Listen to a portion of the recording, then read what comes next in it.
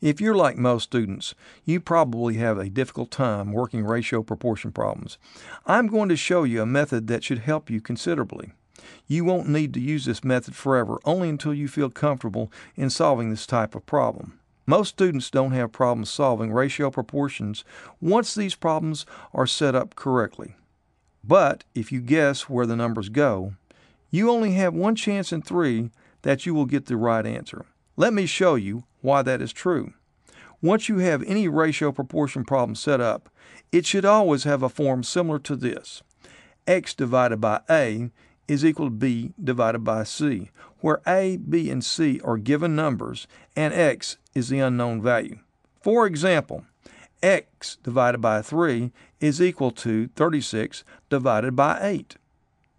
You don't have to call your unknown x, but x is used very often and will be used for the unknown in the rest of this discussion. It is important to recognize that if the number that is diagonally across from x is not the correct number, then you will get the wrong answer. Since there are three numbers that you must have to solve a ratio proportion problem, you only have a one chance in three of getting the answer right if you guess. When anyone first learns how to solve a ratio proportion problem, he or she must understand all of the details. As that same person practices more and more, there is a tendency to go into autopilot mode, solving the equation without a lot of thought. That is great while you are becoming technically proficient in solving such problems, but it is terrible if you are a teacher because you have forgotten what you need to know to teach students what they need to know. So let's go back to the basics. I like to use tables to gather and organize information in a problem. At first, I drew boxes, but I realized that a tic tac toe board worked better. Start by drawing a tic tac toe board and putting an X in the middle square, like this. A ratio looks like a fraction, but it is really more complex than just a fraction. It is a comparison of two things. For example, suppose a recipe for an all natural beverage requires four oranges and three apples. The ratio of oranges to apples is 4 over 3. By the way, this is the only time that I know of when someone can legitimately compare apples to oranges.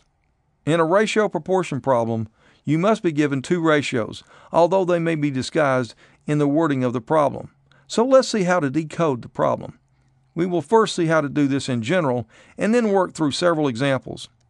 The two ratios will involve two objects and two characteristics of those objects. For one object, both characteristics will be given.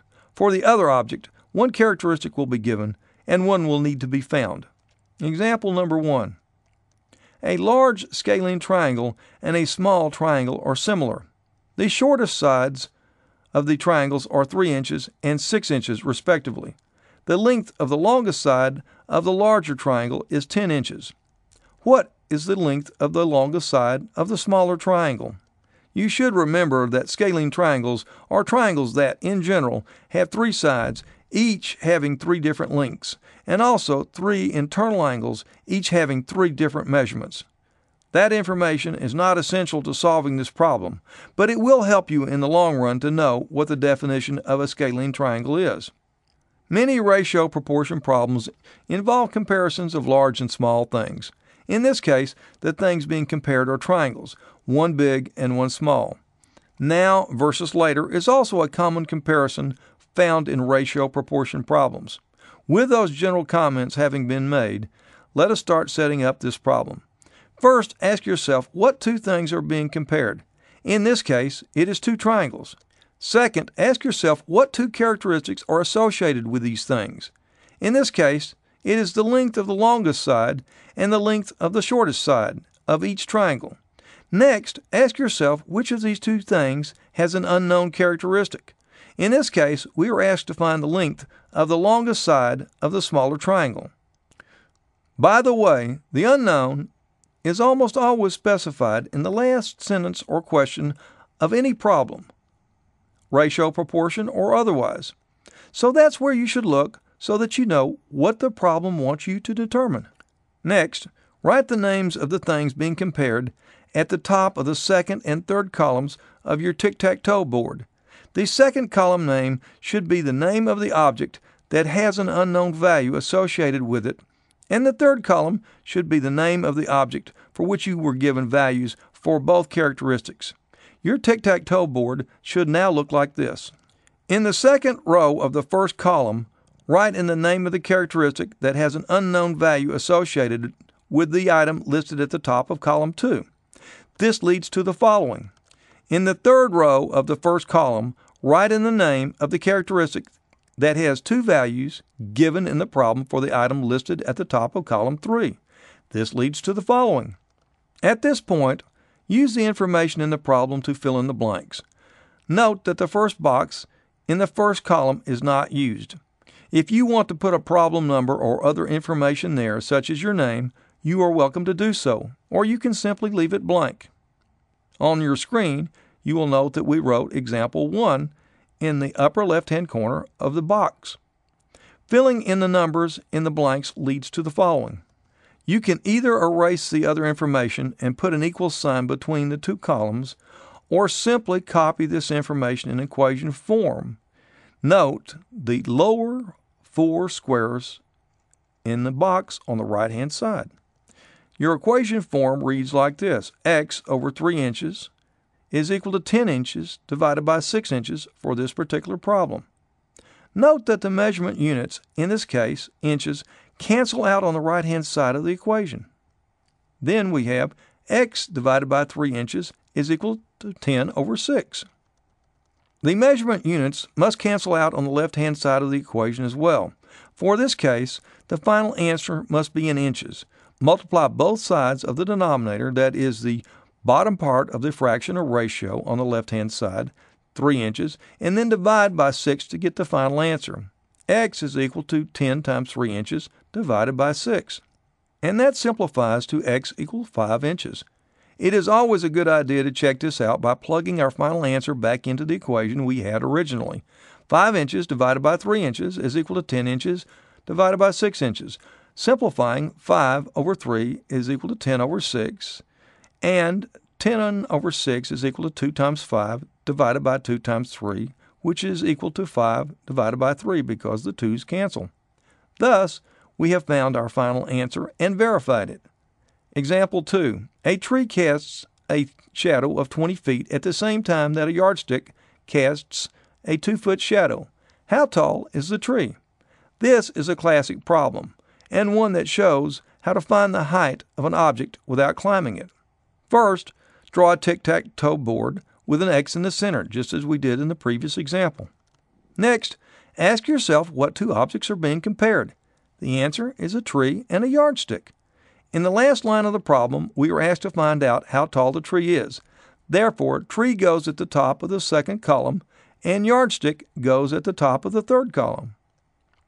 The characteristics being compared are the height of the objects and the lengths of their shadows. Thus, we fill in the box as follows. In this example, we need each column to be in the same units. A yardstick is 3 feet long, by definition. Now we can fill in the blanks. The lower right-hand corner of the tic-tac-toe board has the information for our equation. And here is our equation. x divided by 20 feet is equal to 3 feet divided by 2 feet. The feet on the right-hand side cancel out. We multiply both sides by the denominator, that is the bottom portion of the ratio or fraction, on the left-hand side, and then we get x is equal to 3 times 20 feet divided by 2, which can be quickly simplified to 30 feet, and that is our final answer. Of course, we need to plug our answer back into the original equation to check it. 30 feet divided by 20 feet is equal to 3 feet divided by 2 feet, and this simplifies to 1.5 equals 1.5, showing that our answer is correct. Example number 3. The distance on a Texas map from Dallas to Austin is 4 inches. If the map scale is 1 inch equals 50 miles, how far is it from Dallas to Austin? The two things being compared are the real world and a map. The two characteristics are actual distances and the reference or scale distance. The unknown is the distance in the real world from Dallas to Austin. This is how the tic-tac-toe board should be filled out. Example 5. A photograph is 3 inches by 5 inches. The photograph is enlarged so that the long side is 8 inches. How wide will the photograph be? What objects are being compared? A photograph and its enlargement. What characteristics are being compared? The widths and lengths of the photo and its enlargement. What is the unknown? The width of the enlarged photo. We fill in our tic-tac-toe board as you see on the screen and we are ready to solve. The arithmetic afterwards is straightforward. One multiplication and one division, so we won't go into that. That part you should easily be able to handle. Students seldom make mistakes once the problem is set up properly. It is helpful to remember that in general the length is always longer than the width. So if a problem does not tell you otherwise, the larger of the two numbers is the length. Example 6. A certain cake recipe requires 3 eggs and 4 cups of milk per cake. If you have 9 eggs, how many cups of milk do you need to cook the maximum number of cakes with the 9 eggs? What objects are being compared? A cake made with 3 eggs and a cake made with 9 eggs. What characteristics are being compared? The number of eggs required and the number of cups of milk required in each cake. What is the unknown? The number of cups of milk required to make a cake with 9 eggs. Now, on your screen, you should see how this problem should be set up in tic-tac-toe board format. In the lower right-hand corner, again, we have our equation. We write it as x divided by 9 eggs is equal to 4 cups divided by 3 eggs. The measuring unit of eggs, which occurs in both the numerator and the denominator, cancels out. At first, we have x equal 9 eggs times 4 cups divided by 3 eggs once we multiply both sides by 9 eggs. The eggs cancel out, and we are left with x is equal to 9 times 4 cups divided by 3. And multiplying, we have x equal 36 cups divided by 3, which simplifies to x equal 12 cups of milk. Almost all measurement conversion problems can be solved as ratio proportion problems. Here is an example. Example number 7. How many feet are there in 10 yards? You may remember that there are 3 feet in a yard. Or you may look at a conversion chart and see that 1 yard equals 3 feet. What are the two things that are being compared? A reference measurement and the requested conversion measurement. The unknown is associated with the requested conversion measurement. The characteristics are the scale ratio and the actual ratio. On your screen, you see how this problem should be set up in tic-tac-toe format. Alternately, we could also set up the problem like this. You always have your choice as to whether to use rows or columns for the characteristics compared. Although, my experience, it seems to work better if the items name the columns and the characteristics name the rows. But either way will work fine. Note that, in this case, we are calling the compared things the scale ratio and the actual ratio. The characteristics being compared are the reference measurement and the desired conversion measurement. But no matter which of these two ways we set the problem up, our solution process eventually leads to the following equation. x is equal to 10 yards times 3 feet divided by 1 yard. The measurement unit of yards cancels out since it is both in the numerator and the denominator, and when we simplify, we end up with x equals 10 times 3 feet is equal to 30 feet.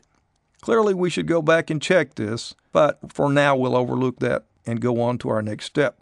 Any kind of direct variation problem can be set up as a ratio proportion problem. Direct variation problems involve a formula like distance equals rate times time. Total cost equals unit price times quantity ordered. Power is equal to current times voltage. Voltage is equal to current times resistance, etc. To be more technical, these are all linear functions that have a y-intercept of zero. Let's look at two examples of this type of problem. Example 8. It is 240 miles from Dallas to Houston, Texas. If someone drives 60 miles per hour, how long will it take them to reach Houston? One way to set up the problem is as follows. On your screen, you note the items compared and the characteristics compared. Actual travel versus reference travel are the column titles. Time required versus distance covered are the row titles. X, as usual, is in the center. The reference travel is one hour. The reference distance covered is 60 miles. And finally, the actual distance covered is 240 miles.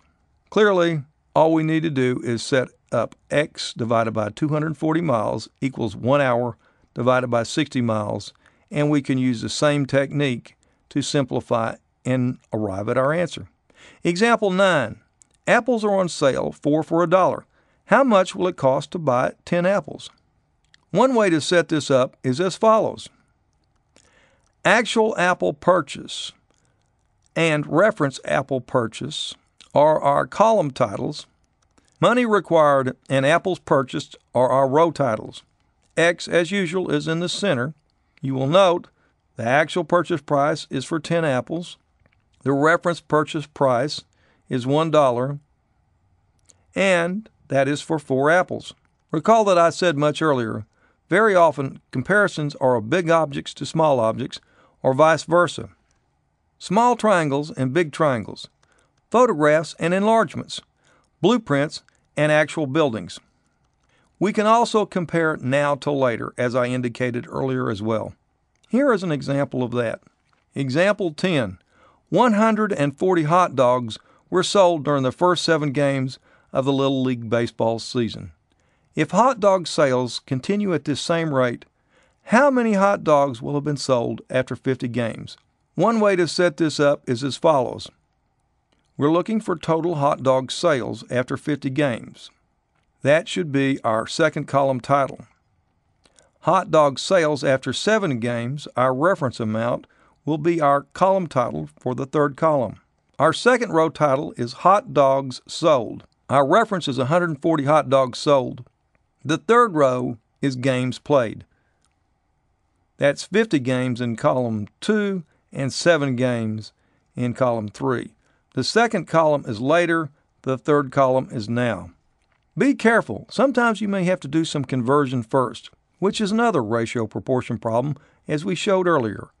For example, if a problem told you that 10,000 corny dogs were sold during the first week of the state fair, and the problem asked you to estimate how many would be sold during 21 days of the fair, you would need to either replace week by seven days or the 21 days by three weeks. After you have become good at setting up ratio proportion problems, you can start using the tic tac toe system less and will still be able to set up the equation simply by reading the problems. The training wheels will be gone and you will be a master of ratio proportion problems. But while you are building up your skill, go slow and set up the problem the right way so that you will be sure you are getting the correct answer. Now you're on the road to becoming an expert at ratio proportion problems. Thank you for listening. Copyright 2009, James David.